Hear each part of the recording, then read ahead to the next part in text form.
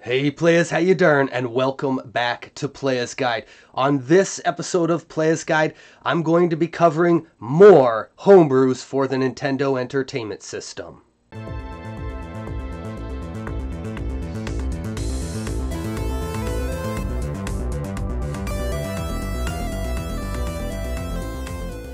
So the first game I'm going to cover is called Temple of Dilemma. This game was sent to me, and I'm very appreciative of that because there are so many great homebrews out there that I want to play, and I just cannot afford uh, to buy a physical copy of all of them.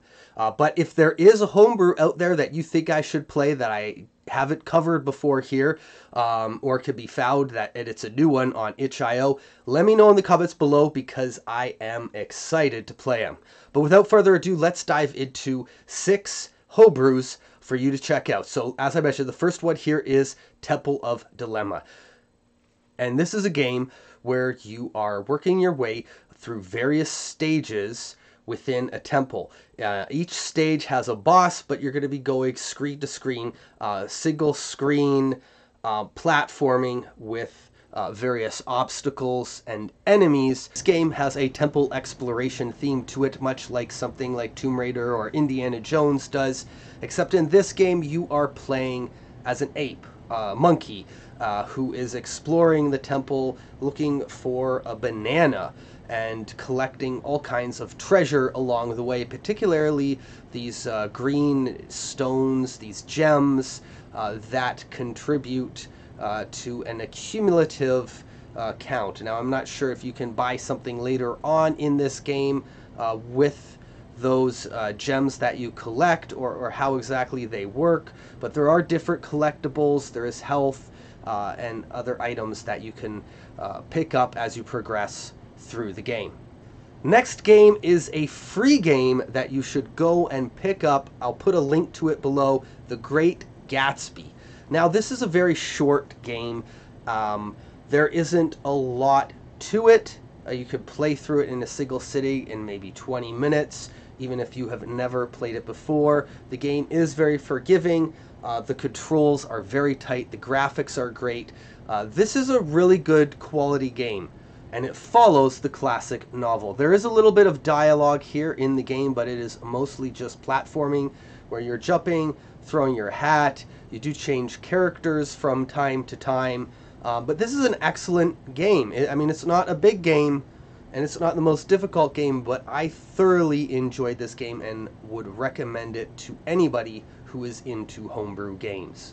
Raleigh. I hope I'm saying that right. I called it Rollie before in the past when I talked about it on the Retro Gaming News, but I think it is pronounced Raleigh. This game is a side-scrolling action platformer where you are playing as a fox character uh, and you're up against some different uh, animal enemies. I know there's snakes in it and, and some other uh, creatures that you might recognize. There's a bunch of different power-ups. There's one that's really neat where you could just kind of walk across the screen.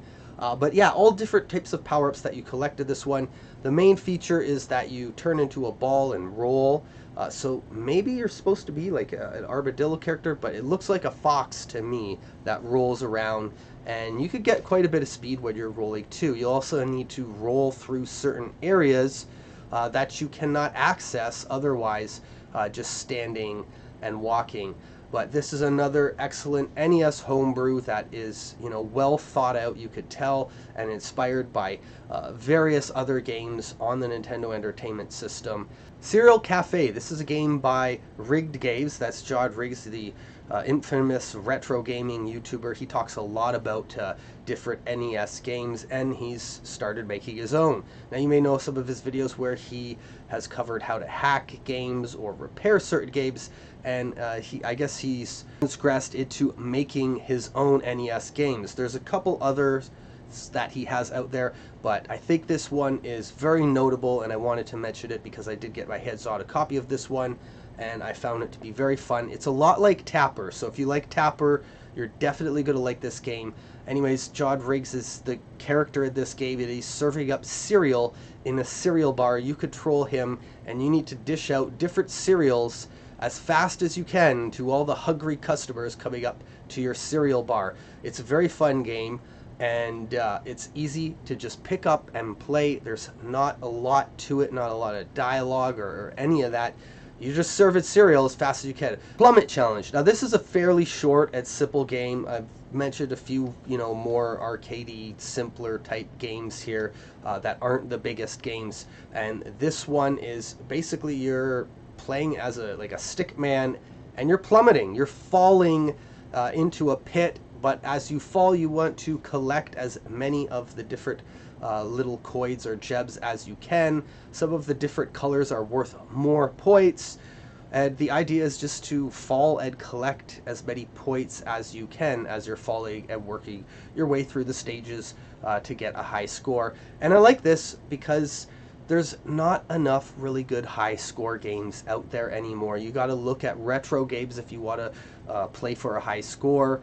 Um, and there's not a lot of newer retro games even coming out where high score really matters. But I've mentioned a few here where score is everything, and this is definitely one of those games. Machine Cave is another NES homebrew that was released by Mega Cat Studios. In this game, uh, you are playing as a machine rocket, and it plays similar to Solar Jetman if you've played that game on NES.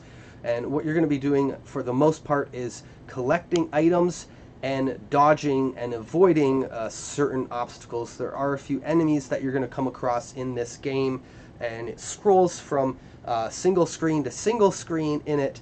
Um, again, it's all about the controls and navigating yourself throughout these stages within this game uh, without taking too much damage and destroying yourself.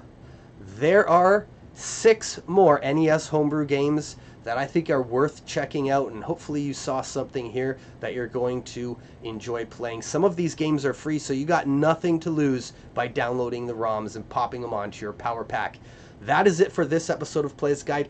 Please consider subscribing to the channel if you are not already, and until then, I'll catch you on the flip side.